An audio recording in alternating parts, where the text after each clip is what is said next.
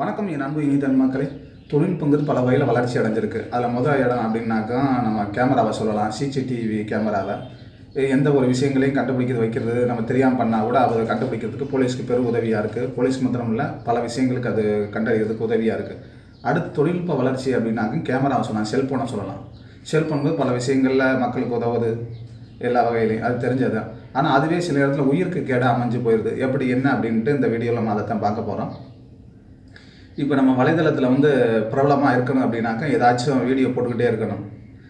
ஆனால் அதுவே சில நேரங்கள் என்ன ஆயிடுதுன்னா ப்ராப்ளமாக ஆகி போயிடுது இப்போ நம்ம ஆரம்பத்தில் இருந்தால் டிக்டாக் சொல்லலாம் இப்போ வந்து ப்ராங் வீடியோ ஷோ அப்படின்ட்டு பண்ணுறாங்க அது மட்டும் இல்லாமல் பைக் ரேசிங் அப்புறம் நடுக்காட்டுகளில் போயிட்டு நண்டு வறுத்து சாப்பிட்றது அப்புறம் மலை குகை இந்த மாதிரி இடங்களில் போகிறது பேய் வீடியோ இந்த மாதிரி பண்ணுறது இவங்கெல்லாம் பண்ணுறாங்க அப்படின்னாக்கா ஆல்ரெடி ஸ்கிரிப்ட் ரெடி பண்ணி ஆளுகளை ரெடி பண்ணி சேஃப்டியாக தான் பண்ணுவாங்க. ஆமாம் ஆனால் நமக்கு தெரியும் போது வந்து ஏதோ தனியாக பண்ணுற மாதிரி ஒரு பிரமையை ஏற்படுத்துவாங்க. ஆனால் எல்லாம் செட் பண்ணி தான் பண்ணுறாங்க ஆனால் இது தெரியாத சில பேர் யூடியூப்பில் அவங்களுக்கு ஃபாலோ லைக்கு கமாண்டு இந்த மாதிரி பேர் போன் கிடைக்கிறத பார்த்துட்டு நமக்கு தான் திறமை இருக்கே நம்மளும் அதை பண்ணலாமே அப்படின்ட்டு என்ன அதை பற்றி என்னென்ன விவரம் தெரியாமலே முயற்சி பண்ண முயற்சி பண்ணுறாங்க ஆனால் இது என்ன பண்ணால் ஒரு சேஃப்டி பாதுகாப்பு வேணும். எந்த பாதுகாப்பும் இல்லாமல் ஒரு ஐடியா இல்லாமல் பார்த்த உடனே உணர்ச்சி வசப்பட்டு பண்ண ஆரம்பிச்சிடாங்க இதனால பல விளைவுகளை ஏற்படுத்துது. இப்போ நேற்று கூட பார்க்கலாம்.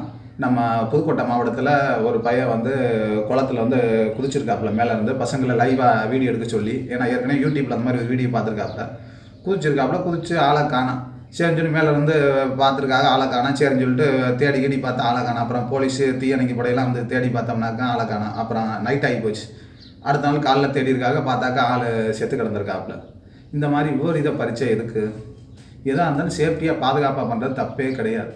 ஆமாம் தொழில்நுட்பம் வந்து நல்ல விஷயத்துக்காண்டி பயன்படுத்தலாம். இந்த மாதிரி வந்து நம்ம அறியாமையில் பயன்படுத்தணும் அப்படின்னா உயிர்க்கே கேடாயிரும். அதனால் எதாக இருந்தாலும் நல்ல முறையில் பயன்படுத்துங்க. எதையுமே சேஃப்டியாக பாதுகாப்பாக பண்ணுங்க. ஆமாம் நல்லது. நமக்கு தான் நல்லது. நன்றி வணக்கம்.